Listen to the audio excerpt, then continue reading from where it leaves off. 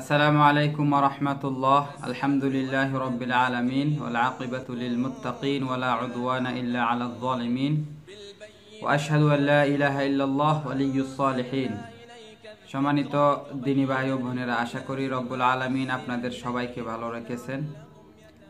আজকে আপনাদেরকে সফরে গেলে কীভাবে দুই ওয়াক্ত সালাদকে এক ওয়াক্তে আদায় করবেন চার ওয়াক্ত সালাদকে দু ওয়াক- আহ, দু রা- আহ, চার রাকাত সালাদকে দু রাকাত পড়বেন সেই বিষয়ে আলোচনা করব ইনশা আল্লাহুল আজিজ আমি প্রথমে দয়াময় আল্লাফাক রব্বুল আলমিনের কালাম থেকে একটা আয়াত পড়তেছি সুরা নিসা একশত এক নাম্বার আয়াত বিসমিল্লাহ রহমান রহিম وإذا ضربتم في الأرض فليس عليكم جناح أن تقصروا من الصلاة এটা হচ্ছে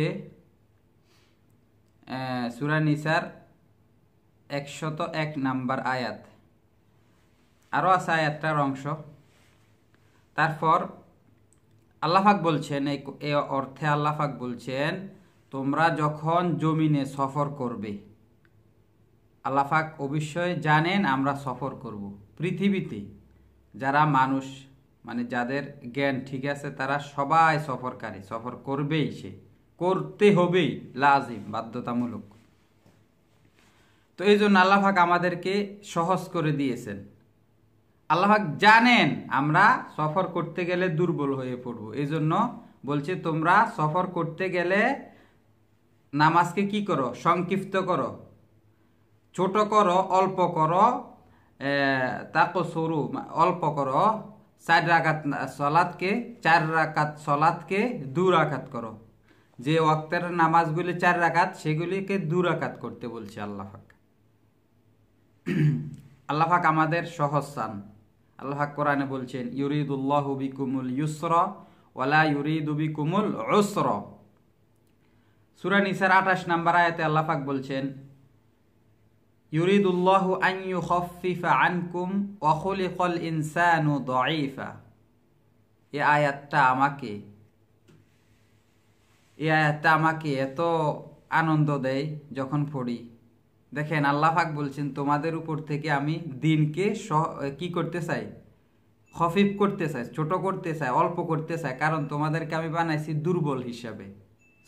আল্লাহ আচ্ছা যাই হোক আমি আপনাদেরকে প্রথমে বলে দিচ্ছি, কীভাবে সফরে গেলে প্রথমে তো মনে রাখবেন, চার রাকাত যতগুলি নামাজ আছে, জোহর, আসর, এশা। জোহর, আসর, এশা। এই চার রাকাত নামাজকে দু রাকাত পড়বেন সফরে গেলে। আর সফরের সীমারেখা নিয়ে অনেক মানে মতভেদ আছে আলেমদের মধ্যে।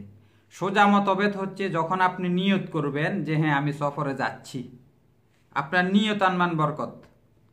নিয়তের উপর নির্ভরশীল সব কিছু আপনি যখন আপনার কলবে সাক্ষী দিবে যে হ্যাঁ আমি সফরে যাচ্ছি, তখন আপনার এলাকা থেকে বাইর হওয়া মাত্রই আপনি মুসাফির। এবার এটা পাঁচ পাঁচ কিলোমিটার হোক, দশ কিলোমিটার হোক, একশো কিলোমিটার হোক, মোট কথা আপনার এলাকা থেকে যখন আপনি কোথাও আপনাকে চিনবেন, আপনি নতুন হয়ে গেছেন, বা এরকম দূরে চলে গেলে আপনি কি হয়ে যাবেন? মুসাফির হয়ে যাবেন। সহজ যতগুলি ইসলামের মাসালার ভিতরে যদি সহি সহি কতগুলি মাসালা থাকে, তার মধ্যে সহজটা নেবেন আপনি। আপনার জন্য ভালো হবে। তবে হাদিসের মধ্যে থাকতে হবে। হাদিসের মধ্যে থাকা অবস্থায় যেটা সহজ লাগে, ওইটা নেবেন। আচ্ছা তখন আমরা আমরা কি করব? সফরে গেলে চার রাকাত নামাজগুলিকে দু রাকাত পড়ব। আর আরেকটা কথা বলে যাব, এখনও বলে দেই। যদি ইমামের পিছনে পড়ি মনে করেন যে এলাকাতে আমি গেছি, ওই এলাকাতে যদি ইমামের পিছনে জমাতে পড়ি তাহলে চার রাকাতে পড়তে হবে। তাহলে চার রাকাতে পড়তে হবে। আর যদি আমি ইমামতি করি, মনে করেন আমি একটা মসজিদে গেলাম হ্যাঁ আপনি আপনি যেহেতু মনে করেন কোনো আলেম মানুষ যদি সফরে করে, অনেক মসজিদে নামাজ পড়তে গেলে বলে শাহেক আপনি নামাজ পড়ান।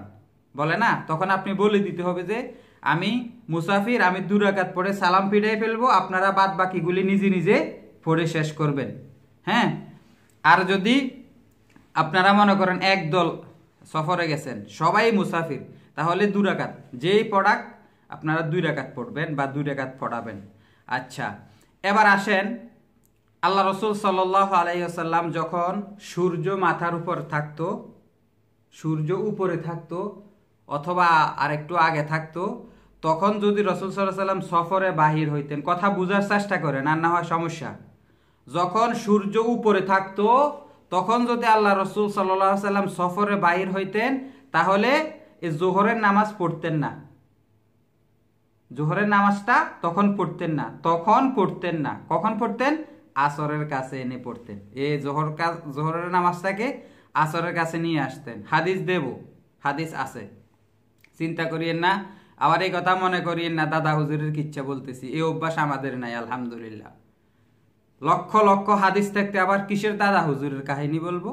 হাদিস, বোখারি, মুসলিম, আবুদাউদ, তিরমিজি, নাসাই, কোরআনের ছয় হাজারের উপরে আয়াত, এতগুলি থাকতে আবার দাদা হুজুরের কথা বলার কোনো প্রশ্নই আসে না। আচ্ছা যাই হোক, যখন সূর্য মাথার উপরে থাকতো, তখন রসুলাম যখন সফরে বাইর হতেন, তখন জোহর পড়তেন না। ভালো করে বুঝতে হবে। জোহরটাকে কি করতেন? আসরের কাছে আনে পড়তেন। মানে অর্থাৎ আসরের সময় এসে জোহরের নামাজকে একত্রে করতেন, পড়তেন। হুম? তখন যদি আপনারা, যদি এক দল থাকেন, বলে দিই আবার, যদি আপনারা মুসাফিররা এক দল থাকেন, তাহলে সবাই যদি মুসাফিরদের মধ্যে যদি কেউ ইমামতি করে, তাহলে দুরাঘাত পড়াবে। আর যদি একা একা পড়ে, তারপরও দুরাঘাত পড়বেন। ভালো করে বুঝতে হবে। আচ্ছা আচ্ছা এবার আসেন। জোহর তো পড়তেন না, আসরের কাছে নিয়ে যেতেন এবার আসেন আসরের নামাজের যখন রসুল সাল্লাম সূর্য এভাবে ঢলে যেত, ঢলে যাওয়ার পরে যদি বাহির হতো সফরে ডলে যাওয়ার পরে যদি বাহির হতো কোথায়? সফরে। দেখেন, সূর্য ডলে যাওয়ার পরে, আগে তো বলছি ডলে যাওয়ার পরে যদি বাহির হতেন তাহলে আসরের নামাজটাকে জোহরের কাছে নিয়ে আসতেন। অর্থাৎ জোহরের নামাজের সাথে একত্রে পড়ে ফেলতেন। সূর্য ডুলার পরে যদি বাইর হতেন। আচ্ছা আসরকে জোহরের নিকটে নিয়ে আসতো, জোহর এবং আসর একসাথে পড়তে, আলাদা আলাদা। দুই নিয়তে, আবার দেখবেন এক নিয়তে না, আলাদা আলাদা। আচ্ছা তখন আচ্ছা এবার আসেন মাগরিব, এশা। ফজর না, ফজর কখনো একসাথে করা যাবে না। ফজর ফজরের অক্তে পড়তে হবে। আরেকটা কথা বলে রাখি, ফজর যখন আপনি সফরে যাইবেন, সুন্নত নামাজ পড়বেন না, আবেগ দেখাবেন না। ইসলাম আবেগ দিয়ে চলে না। ইসলাম যুক্তি দিয়ে চলে না। যদি ইসলাম যুক্তি দিয়ে চলতো, তাহলে মোজার উপরে মাসা করতো না। মোজার নিচে দিয়ে মাসা করার বিধান আসতো। আল্লাহ রসুল যাহা বলছে, তাহাই আপনার শুনতে হবে। আচ্ছা তখন কি করবেন? সুন্নত পড়বেন না। সুন্নত কোন সুন্নত? ফজরের নামাজের সুন্নত ছাড়বেন না। আল্লাহ রসুলের আল্লাহ রসুল ছাড়তেন না। আর ভিতির। উইথ এই দুই সুন্নত ছাড়া যাবে না। যদিও ভিতরের নামাজকে অনেকে ওয়াজিব বলে। যাই হোক, এটা ছাড়বে না। এই দুই দুই সুন্নত ছাড়া যাবে না। আচ্ছা এবার মনে করেন, যদি মাগরিবের কিছুক্ষণ আগে রসুল সাল্লাহ সাল্লাম সফরে বাইর হতেন, তাহলে মাগরিবের মাগরিব পড়তেন না। কি বলছি? মাগরিবের আগে যদি বাইর হতেন মাগরিব তখন পড়তেন না, এশারের সময় গিয়ে পড়তেন। আর যদি মাগরিবের পরে বাইর হতেন, অর্থাৎ এখন তো মাগরিবের নামাজের সময় আমি ঘরে আসি। এখন আমি যদি সফরে বাইর হই, তাহলে মাগরিবের সময় এশারের সালাতো আমি পড়ে নিতাম। তবে বাড়িতে যখন পড়বেন, তখন চার রাগাত পড়তে হবে। তখন কিন্তু আপনি মুসাফির হন নাই, তাই না? চার রাগাত পড়ে তারপরে বাইর হব। আর যদি মাগরিবের আগে বাইর হয়, তাহলে এই মাগরিবের নামাজকে আমরা কোথায় নিয়ে যাব? এশারা রক্তে নিয়ে যাব, তখন পড়ব। এই হচ্ছে মাসালা। আর এবার হাদিসটা শোনেন। হাদিসটা হচ্ছে নাসাই পাঁচশত তিপ্পান্ন নাম্বার হাদিস। নাসাই পাঁচশত তিপ্পান্ন নাম্বার হাদিস। হাদিসটা শোনেন।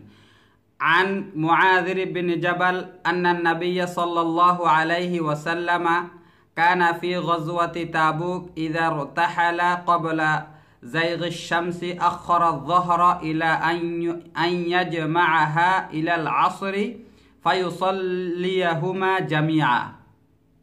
وإذا ارتحل بعد زيغ الشمس عجل العصر إلى الظهر وصلى الظهر والعصر جميعا ثم سار وكان إذا ارتحل قبل المغرب أخر المغرب حتى يصليها مع العشاء وإذا ارتحل بعد المغرب عجل العشاء فصلاها مع المغرب এই হচ্ছে হাদিস তো আমি আশা করি আপনাদেরকে বুঝাইতে পারছি, তারপরেও যদি কোনো বুঝতে সমস্যা হয় ইনশাল্লাহ প্রশ্ন করতে পারেন ইনশাল্লাহ জবাব দেওয়ার চেষ্টা করব, ইনশাআল্লাহ। হাদা ওসলিল্লাহুম্মা ওসালিম আলা সঈদিনা মোহাম্মদ আলা আলহি ওসহাবিহি আজমাইন ওসালাম